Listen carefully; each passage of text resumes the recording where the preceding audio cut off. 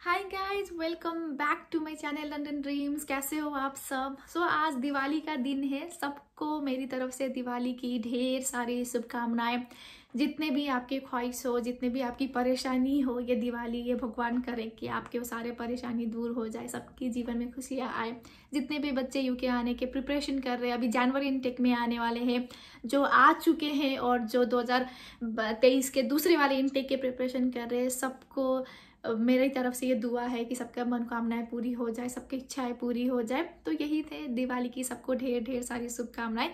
तो आज वीडियो में मैंने यही सोचा पहली बात तो मैं सबको विश करूँ जितने लोग यहाँ आ गए हैं। हालाँकि जो लोग आने वाले हैं, उनके भी ड्रीम्स पूरे हो जाए और इस टाइम पे, क्योंकि यूके में आप देख ही रहे हो, काफ़ी चेंजेस हो रहा है।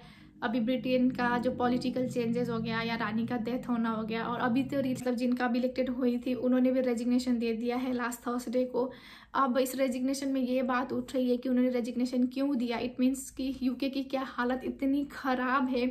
कुछ ऐसा अंदर इंटरनली कुछ मैटर चल रहा है जिस वजह से प्रधानमंत्री को लगा कि भाई मैं तो ये चीज़ सुलझा नहीं पाऊँगी।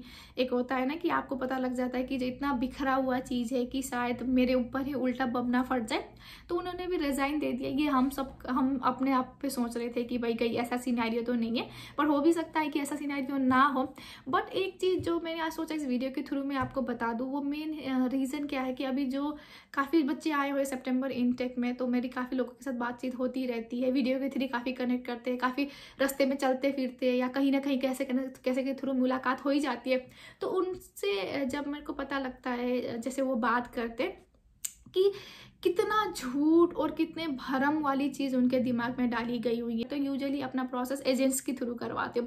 और जो चीज़ आपने सुनी होती है, या तो वो अपने एजेंट से सुनी होती है, या तो आपने किसी रिश्तेदार से, या जो आपके दोस्त वगैरह यहाँ पे आए हैं, उनसे सुनी होती है। यूट्यूबर भी आपको सही और असली बातें नहीं बताते और इसलिए नहीं बताते क्योंकि आप लोग सुनना नहीं चाहते हो। असलियत क्या है? कोई जानना ही नहीं चाहता है। लोगों को सिर्फ़ अच्छी अच्छी बातें सुनना होता है, जो कि मैं हर वीडियो में बताती हूँ। देखो अच्छी अच्छी चीज़ यहाँ पे क्या है? मैं बताती हूँ आपको अभी थोड़ी देर में। पहले आपको ये समझना ज़रूरी है कि रियलिटी क्या है? आप किस चीज़ के लिए यहाँ आ रहे हो? और उसके पीछे के मकसद क्या है? साथ साथ उन चीज़ों को पूरा करने के लिए आपको क्या क्या स्ट्रगल फेस करना पड़ेगा और आपका प्रोसेस क्या है इन चीज़ों को पाने का? ये भी जानना बहुत इंपॉर्टेंट है जो कि बच्चों में काफ़ी मतलब लैक ऑफ़ नॉलेज एक होता है ना कि उनको कुछ पता ही नहीं है, उन्होंने कोई रिसर्च ही नहीं करी अपने आप से। वो जिन्होंने एजेंट ने उनको जैसे दिमाग में डाल दिया, वो उसी चीज़ के साथ आए हुए हैं। मुझे एक भाई है मतलब ग्रेजुएशन के लिए आए हैं, वो तो वो पूछते हैं कि, दीदी, मैं ऐसा ऐसा हूँ, मैं ऐसा ऐसा जॉब करूँगा, मुझे कोई ग्रॉसरी स्टोर पे काम मिला है साथ साथ मुझे एक रेस्टोरेंट में भी काम मिला है तो मैं इतना इतना कमा लेता हूँ तो मेरा तो इतना इतना बन जाएगा ना? और पी आर मतलब तीन साल का जो ग्रेजुएशन का कोर्स होता है तो तीन साल तक मैं ऐसे ऐसे पैसे निकालूँगा, फिर चौथे साल में तो मैं पीआर अप्लाई कर दूँगा, हो तो जाएगा ना, पाँच साल में तो पीआर मिल जाता है। तो वहाँ से मैंने उनसे बहुत डीपली बात करी। मैंने कहा, किसने कहा आपको कि आपका जो स्टूडेंट का रूट होता है, वो पीआर में काउंट होता है? सबसे पहले तो आपको जो स्टूडेंट के मामले में जो झूठ है ना, जो मेजर मेजर झूठ है, मैं उनके बारे में आपको बताना चाहती हूँ। देखो, स्टूडेंट वीज़ा सिर्फ़ आपका पढ़ाई से मैटर करता है। आपका स्टूडेंट वीज़ा कहीं पर भी ना आपको वर्क से मैटर करता है, ना आपके पीआर से मैटर करता है। और यूके में पीआर लेने के लिए आपको स्पॉन्सरशिप जॉब होना ज़रूरी है। नॉट जस्ट जॉब कि हाँ आपके पास जॉब है उससे भी यहाँ काम नहीं चलता है। यहाँ पे आपको कंपनी को स्पॉन्सर्ड करनी पड़ेगी, आपके नाम का होम ऑफ़िस से लेटर लेना पड़ेगा work visa skill worker visa का स्टैंप लगनी पड़ेगी जब जाके आप एक स्किल वर्कर माना जाता है और वो स्किल वर्कर वीज़ा भी आपका पाँच साल तक होना पड़ेगा कि हाँ आप यहाँ पाँच साल तक यहाँ रहते हो, पाँच साल तक गवर्नमेंट को टैक्स पे करते हो, तब जाके आप स्किल वर्कर माने जाते हो और तब जाके आप अपना पीआर के लिए एलिजिबल होते हो। इसीलिए जो ये दो साल का कोर्स, पाँच साल का कोर्स, फिर जो आपका डब्ल्यू है, वो कहीं पे भी आपका पी के रिलेटेड रूट के लिए काम नहीं करता है। इन टर्म्स अगर मैं अदर साइड पे देखूँ, जैसे ये भरम कहाँ से हो रहा है, ये भरम हो रहा है जो कैनेडा वाला मैटर है, क्योंकि कैनेडा की गवर्नमेंट पॉलिसी अलग है। कैनेडा आपको स्टूडेंट रूट में भी आपको पी के लिए एलिजिबल माना जाता है, क्योंकि उनके भी अपने पॉइंट बेस्ड सिस्टम है कि बोलते जैसे कि ये स्टेट से निकल के दूसरे स्टेट में अगर जब चले जाओ तो वहाँ पे थोड़ा सा पॉइंट्स कम होते हैं तो आप कोई भी काम करो तो जिस टाइम से आप पढ़ने स्टार्ट हो जाते हैं, उसी टाइम से आपका पीआर का रूट स्टार्ट हो जाता है, वो साल काउंट हो जाता है, क्योंकि यहाँ पे कोई पॉइंट बेस सिस्टम नहीं है, जो कि पॉइंट बेस सिस्टम बोला जाता है point base system skill worker visa ये वो बोला जाता है, वो कोई पॉइंट बेस सिस्टम नहीं होता है, वो जो स्किल वर्कर की जो जॉब मिलती है, वो वही है। एंड देन जो दूसरी जोट ये है कि नहीं, आप तो पढ़ते पढ़ते इतना कमा लोगे आप पढ़ते पढ़ते अपना घर का जो लोन होता है, वो भी पूरा कर लोगे, घर में पैसे भेजने वाला काम भी कर लोगे, साथ में अपना पढ़ाई का भी फ़ी निकाल लोगे। तो ये सबसे बड़ा झूठ है, क्योंकि इस चीज़ को करने के लिए आपको बहुत मेहनत करनी पड़ेगी। इस चीज़ के लिए आपको रात दिन काम करना पड़ेगा और स्टूडेंट को 20 घंटे से ज़्यादा काम करने के लिए अलाउड नहीं होता है। बट स्टूडेंट बहुत ज़्यादा काम कर लेते हैं, जिस वजह से आजकल यूके में इमिग्रेशन के मैटर पे काफ़ी मामले सामने आ गए हैं। जैसे जा, काफ़ी बच्चे का मेजर मैंने हर वीडियो में भी बताया हुआ है कि वो केयर होम पे नर्सिंग होम पे काम करना स्टार्ट कर देते, क्योंकि वो सबसे इजी एक्सेसिबल जॉब है। यहाँ पे ओल्ड एज हाउस वगैरह केयर होम वगैरह बहुत ज़्यादा है स्टाफ कम है।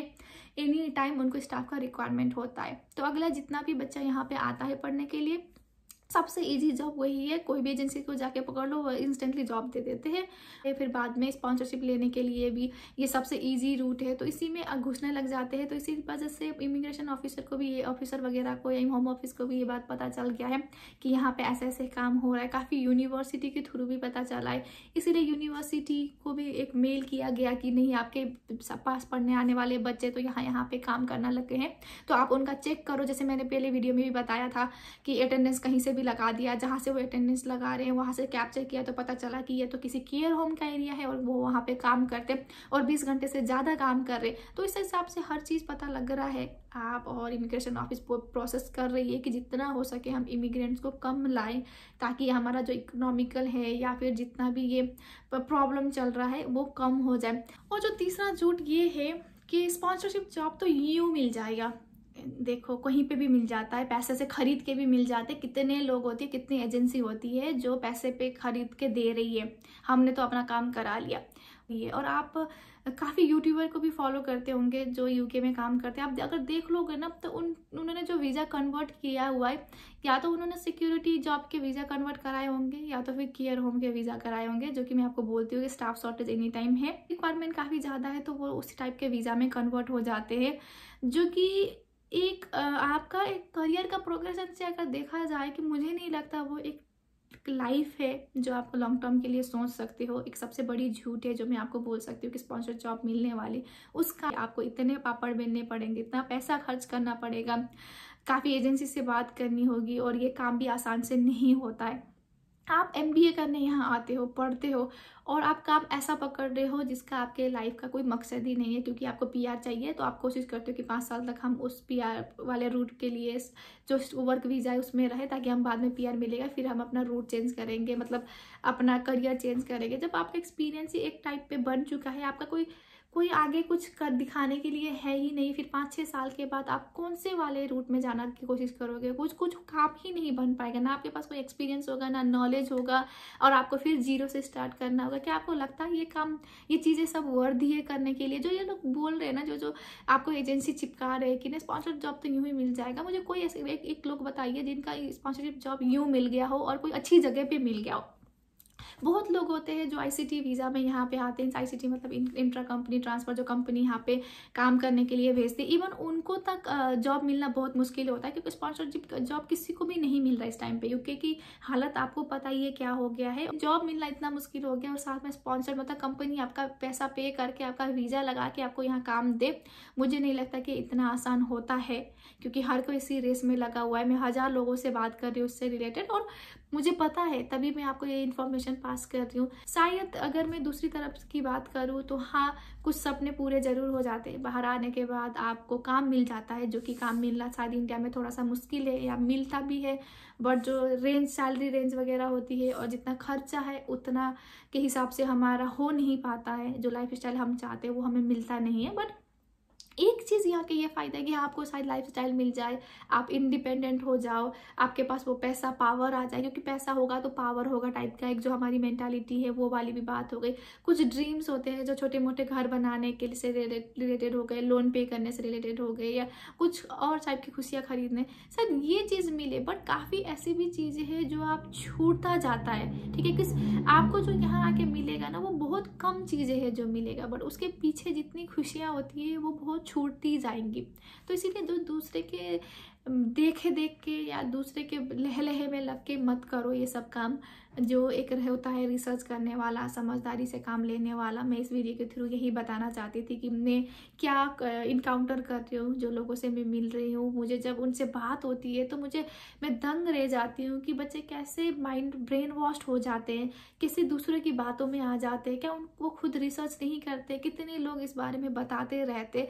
फिर भी लोगों को समझ नहीं आता है। उनको लगता है कि खुद तो चले गए या खुद तो वहाँ बैठे बट हमें डिमोटिवेट करने की बात कर रहे देखो, आपके आने से या आपके ना आने से कोई भी यूट्यूबर हो या मैं हूँ, हमें क्या फ़र्क पड़ता है? हमारी अपनी लाइफ में जो भी परेशानी चल रही होगी या जो भी अच्छाई चल रही होगी, वो तो हमारे लिए।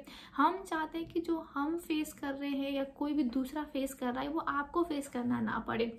इसीलिए सतर्क होने के लिए वीडियो बनाई जाती है ताकि आपको पता चले कि रियलिटी क्या है। पता चले कि लोग कैसे ब्रेन वॉश कर रहे हैं, कैसे झूठी बातें कर रहे हैं, क्योंकि उनको अपना बिज़नेस चलाना है। मैं बार बार अपने वीडियो को थ्रू यही बताने की कोशिश करती हूँ।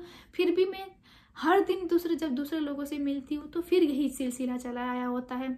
तो यही है इस वीडियो में जो मैं बताना चाहती थी। अगर आपको मेरी बातें थोड़ी सी भी अच्छी लगती हो लगता है कि हाँ मैं कुछ जेनविन बातें कर रही हूँ तो मेरे वीडियो को लाइक शेयर एंड सब्सक्राइब ज़रूर करिएगा। फिर मिलते हैं न्यू टॉपिक के साथ न्यू वीडियो में। तब तक के लिए सी यू बाय बाय